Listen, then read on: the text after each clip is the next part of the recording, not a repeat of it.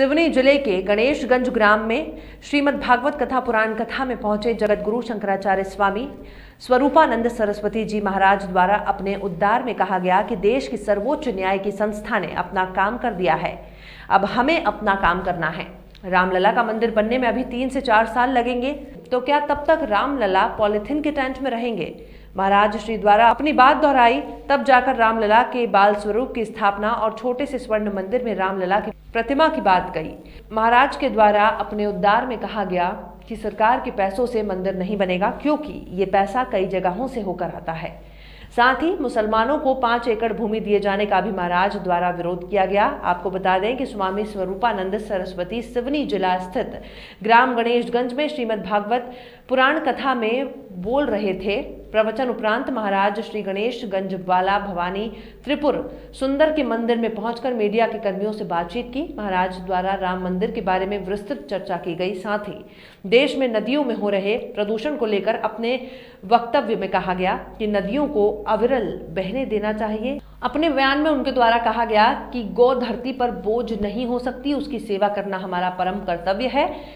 गाँव का गोबर, दूध, दही यहाँ तक कि श्वास भी पर्यावरण और मानव स्वास्थ्य के लिए अति आवश्यक है। एक प्रश्न पर उनके द्वारा कहा गया कि कोई भी सरकार गौ के लिए कदम नहीं उठा रही है। गणेशगंज ग्राम में चल रही श्रीमद् भागवत कथा, पुराण कथा मंच से करीब 10 लोगों द्वारा एक एक तोले से अधिक स्वर्ण दान की घोषणा की गई। साथ ही गणेशगंज ग्राम वासियों द्वारा आगे भी स्वर्ण मंदिर के लिए जो भी बन पड़ेगा, दान अनुदान किया जाएगा।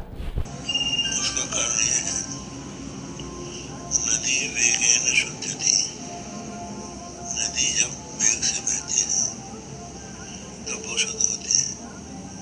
हम जगह जगह इसको बाँध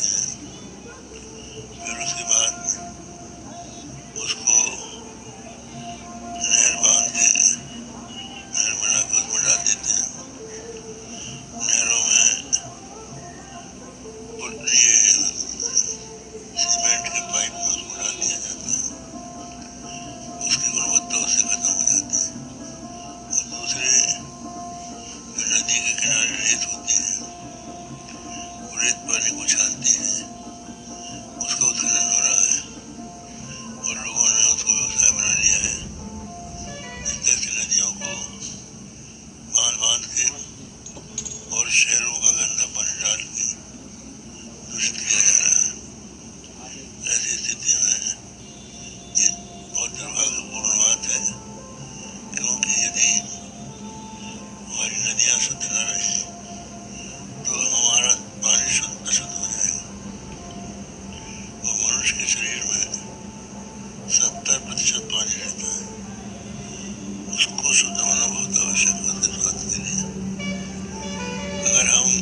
सब कुछ विकास करते हैं।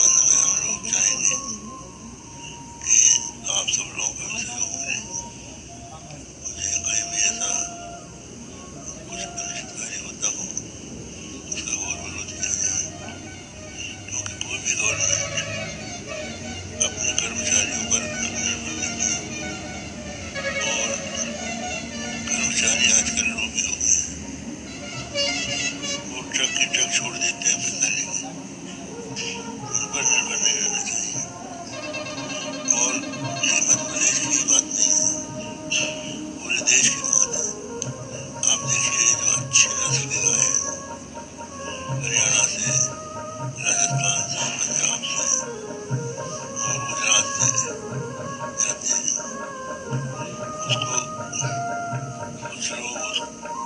कुछ जाते हैं जहाँ